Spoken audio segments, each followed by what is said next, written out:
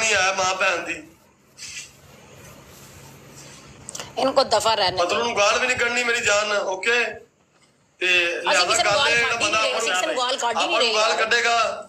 ਉਸ ਜਿਹੜਾ ਆਪਾਂ ਨੂੰ ਮਾਂ ਭੈਣ ਦੀ ਗੱਲ ਕੱਢੇ ਉਹਨੂੰ ਮਿਊਟ ਅਸਾਂ ਲਾਈਵ ਕੀ ਚਲਾਣੀ ਹੈ ਸਾਡੇ? ਮੂਡ ਦੀ ਮਾਂ ਚੋਦ ਕੇ ਰੱਖ ਛੜੀਏ ਤੁਸੀਂ ਪੜ ਕੇ। ਅਸਾਂ ਕੀ ਲਾਈਵ ਚਲਾਣੀ ਹੈ? ਠੀਕ ਠਾਕ ਕਰੋ।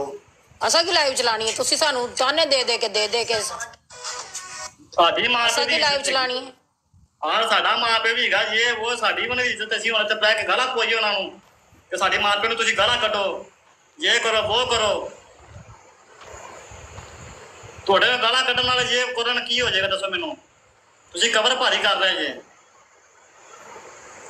ਅਗਰ ਸਾਡੇ ਲਾਈਵ ਬੰਦ ਕਰਨਾ ਦੀ ਮਾਂ ਵਾਪਸ ਆਦੀ ਨਾ 100 ਬਿਸਮਿਲ੍ਲਾ ਅਸੀਂ ਬੰਦ ਕਰਕੇ ਅਸੀਂ ਦੋ ਦਿਨ ਲਾਈਵ ਨਹੀਂ ਆ ਰਹੇ ਤਿੰਨ ਦਿਨ ਲਾਈਵ ਨਹੀਂ ਆ ਰਹੇ ਯਾਰ। ਮਹੀਨਾ ਨਹੀਂ ਆਵਾਂਗੇ ਮਹੀਨਾ ਨਹੀਂ ਆਵਾਂਗੇ। ਚਲੋ ਯਾਰ ਪਤਾ ਲੱਗੇ ਯਾਰ। ਸਾਰੇ ਬੰਦ ਕਰਨਾ ਪਤਲੂ ਦੀ ਮਾਂ ਵਾਪਸ ਆ ਜਾਏਗੀ ਚਲੋ ਯਾਰ ਅਸੀਂ ਸਾਨੂੰ